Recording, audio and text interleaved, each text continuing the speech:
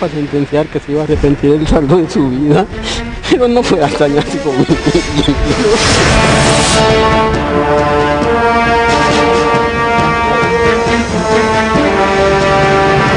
La Oxisa ha, ha, sufrido golpes contusos en, la, en el cráneo.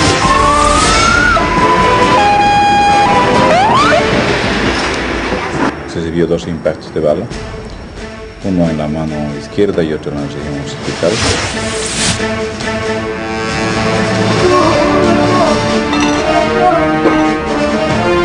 Sí, señora, mi mamá está muerta, su mujer de mi papá la mató, con martillo le dio en la cabeza.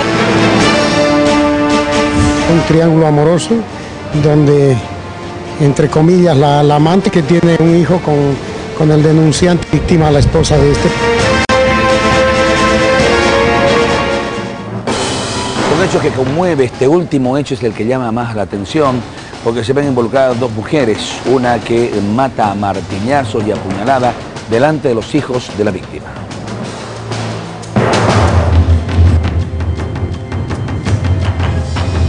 Otro hecho de sangre estremece a la población. La víctima, una mujer de 31 años de edad que fue asesinada a golpes en la cabeza con un martillo y apuñalada en varias partes de su cuerpo. Todo en presencia de sus tres pequeños hijos, con quienes compartía el desayuno en la cama. Todo habría ocurrido en un par de minutos. La asesina ingresó a la vivienda sin llamar y al encontrar a su víctima sin discusión, se le abalanzó asestándole un golpe en la cabeza. La misma que dejó a Leonarda Hinojosa aturdida y sin opción para defenderse. Seguido a ello, la supuesta asesina descargó varias puñaladas y huyó del lugar, dejando a su víctima desangrándose a la vista de sus pequeños niños. El pedido de auxilio de una de las menores alertó a los vecinos que muy poco o nada pudieron hacer para salvarla. Señora, mi mamá está muerta, su mujer de mi papá la mató, con martillo le dio en la cabeza y yo corro, corro y cuando llego acá la señora ya estaba tirada. Grité, pero nadie, nadie dio porque acá los vecinos estamos alejados. Los tres hermanitos, aún sin entender nada de lo ocurrido, fueron retirados de la escena del crimen y trasladados hasta un centro por la Defensoría de la Niñez. Puesto a la Defensoría y estos son remitidos a un hogar, los menores. Los menores han visto el crimen. ¿Qué tipo de terapias van a recibir? Son terapias psicológicas. Horas después, la policía en un operativo logró la captura de la supuesta asesina de Leonardo Hinojosa. No son las prendas de vestir de la, de la autora del hecho que posteriormente a escapar del lugar de la, donde deja eh, muerta a la víctima.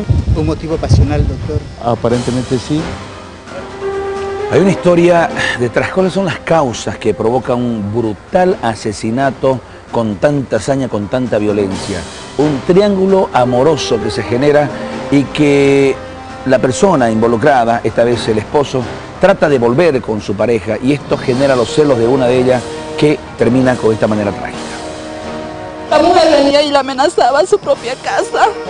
La muerte de Leonardo Hinojosa fue anunciada desde el pasado año, en cuyo tiempo el esposo de la víctima sostenía una relación extramarital con la autora del asesinato, con quien tuvieron un hijo. Andan mal mi esposo y, y después yo dije, entonces, ¿qué, qué pasó? Le, de ahí me enteré que tenía otro hijito en, en la otra amante.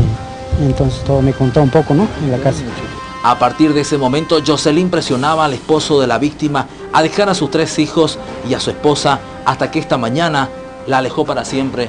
Yo quiero justicia y quién habrá hecho daño a mi prima, no sé, no sé, hasta ahorita no sé, estoy traumado. Terrible lo que ha pasado. Está con nosotros eh, la autoridad que hizo un seguimiento y que personalmente llevó adelante las investigaciones, el coronel Johnny Requena, director de la Fuerza Especial de Lucha contra el Crimen. Gracias por visitarnos hoy día y la gentileza de venir a contarnos. ¿Qué fueron los detalles importantes que permitió a la policía descubrir quién era la autora de este asesinato? Bueno, buen día y gracias por la invitación.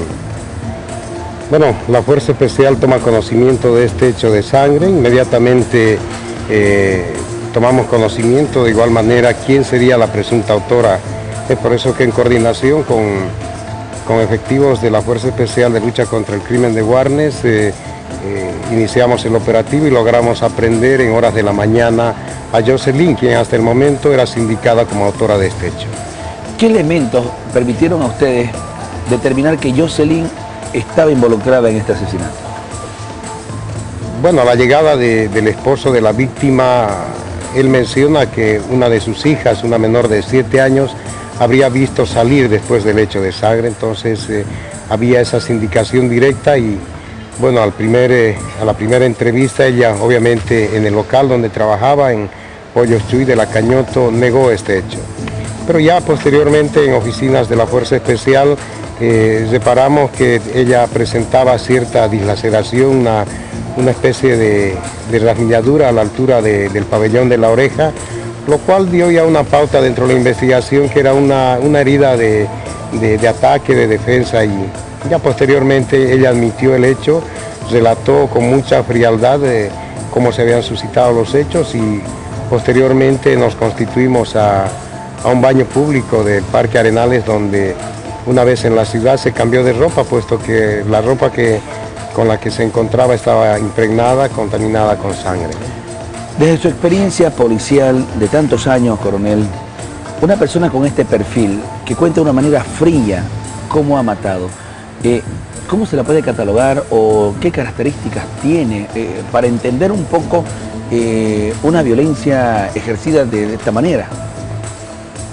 Bueno, considero que por la pérdida de valores, por el tema de intereses, la persona ha ido planificando, ha ido dosificando esa conducta para, bueno, llegar a este desenlace, puesto que los antecedentes anteriores nos, nos indican que ella siempre ha pretendido quedarse con, con el esposo de la víctima, lo cual la ha hecho fría, ha ido planificando. Este hecho no es, eh, no es una situación del momento. Ella logra ingresar al domicilio, de acuerdo a la versión inicialmente inician una pelea y el desenlace bueno es conocido. Eso es una conducta eh, con ciertas patologías que ella presenta, puesto que al interrogatorio no ni siquiera demostró un acto de arrepentimiento, más al contrario, ya una vez descubierta relata con mucha frialdad, con detalles cómo se suscitaron los hechos, y ella menciona que sí quería conseguir ese objetivo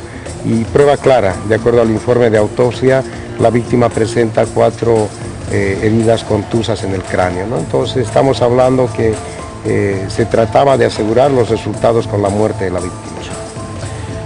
Eh, hay un triángulo amoroso que desencadena de todo esto. Sí, ayer ya se estableció eso, puesto que toda investigación conlleva a poder establecer los elementos anteriores, concomitantes y posteriores al hecho. Dentro de los elementos anteriores tenemos eh, los antecedentes de esta eh, relación en triángulo. Ambas eh, mujeres han procreado para, para esta persona, el varón, y, y bueno, la, la relación anterior era de amenazas, de intimidación y de querer tomar posesión en el varón, y arguyendo que ambas personas eh, tenían los hijos para él. De su experiencia, eh, coronel, varios hechos donde se ve involucrado un triángulo amoroso, eh, como se conoce vulgarmente, han desencadenado tragedias esta semana. El caso de la ingeniera María del Carmen Paz, este último caso, otros dos que se presentaron la semana pasada, donde incluso en, incluso en la ciudad de La Paz se mata a un niño, eh, la madre mata a su niño para deshacerse de él y poder tener una relación amplia y libre con eh, su pareja. Eh, ¿Qué es lo que estamos viviendo en esta sociedad, coronel? Bueno, como usted menciona en todos los hechos, no solamente acá en la ciudad de Santa Cruz, es una pérdida de valores. Desde el momento que uno establece otra relación aparte de la, del hogar, está poniendo en riesgo su vida, está poniendo en riesgo la vida de los hijos, de las personas quienes son parte de este, de este triángulo y en su caso eh, ha existido más personas. Entonces eh, considero que es un tema de, principios, de valores, de determinaciones y de responsabilidad, puesto que más allá que el matrimonio sea un instituto jurídico, un- un centro de sentimientos, establece también mucha responsabilidad y en la medida que seamos responsables estos hechos se pueden evitar, pero si, si empezamos a, jugar, como se dice, con sentimientos, bueno, la persona en el momento juzgada de celos, bajo intereses, porque también hay intereses en estos hechos, ¿no? Más allá de sentimientos, el desenlace son estos casos. Entonces el tema es un tema de conducta, es un tema de responsabilidad, un tema de principios, Y para evitar esto, bueno, estamos eh, reflexionando con todos estos casos que, que no siempre son buenos. Eh, algo que nos llama también mucho la atención, el poco valor por la vida. O sea, se mata a una persona como matar eh, sin ningún valor para conseguir un objetivo. Así es, es que llegado el momento, en una ofuscación, en una ira, en intereses, en sentirse perdedor de, sentimentalmente, considero que la persona queda ofuscada y, y actúa como actúa. ¿no? Entonces en ese momento se pierde todo tipo de valores, el respeto a la vida del prójimo, lo único que eh, los victimarios quieren conseguir o llenar ese vacío, ese fracaso, ese dolor que, establece un engaño. Prueba clara el ingeniero, el hecho de, la víctima que enterró en el Urubó, eh, lo decía claramente en la entrevista. Él, él había sido utilizado sentimentalmente, utilizado económicamente, entonces él se sentía afectado. Y una persona enamorada, una persona engañada, bueno, es difícil que controle sus sentimientos, prueba clara de, un asesinato funesto, que en su momento si hubiera mayor fortaleza en principios, en valores, considero que uno analizaría, pero ese momento ya no actúa la persona, actúa el instinto, porque se ha afectado, se ha dolido y se ha, se ha hecho sufrir a la persona, es un, es un resultado que, bueno, en psicología hay que analizar bastante, no es el hecho, sino es la conducta del momento. Coronel, enormemente agradecido por explicarnos y esclarecer estos hechos que han conmovido a Santa Cruz, donde eh, pierden la vida personas, donde se valora poco la vida y donde el desenlace violento afecta a niños y por supuesto todo el entorno familiar. Gracias, coronel, por estar aquí con nosotros. Así es, y quiero hacer mención y, y aclarar el tema. Estos hechos específicos, estos hechos aislados, estos hechos sentimentales, pasionales, que obviamente desenlazan en, en resultados funestos, como es la muerte de persona, eh, es un tema más, eh, más personal, más de actitud, no, no es un tema de seguridad. La policía está movilizada en todos los hechos, pero también esperemos que nuestra sociedad pueda recapacitar y, y tengamos mayor fortaleza en nuestros principios, valores, puesto que esto afecta y crea mayor inseguridad y mayor sensación de inseguridad. Pero la policía está cumpliendo, eh, si bien es cierto, se ha esclarecido ocho casos en, en muy poco tiempo, esto no devuelve la vida. Esto se podía prevenir con la conducta y con ser más solidarios y volver más humanos para evitar estos temas. Importante la palabra del coronel Johnny Requera, director de la Fuerza Especial de Lucha contra el Crimen, que hoy día sí nos ha dado una explicación eh, estupenda, decimos, de estos hechos que han conmovido a Santa Cruz, eh, la descripción de cómo se han relatado las causas que han generado situaciones como esta. 7 eh, de la mañana con 59 minutos, hablamos ahora del Banco Mercantil Santa Cruz. Por ser símbolo de nuestra Bolivia y escenario del rally más duro del mundo, somos parte del Dakar. Banco Mercantil Santa Cruz.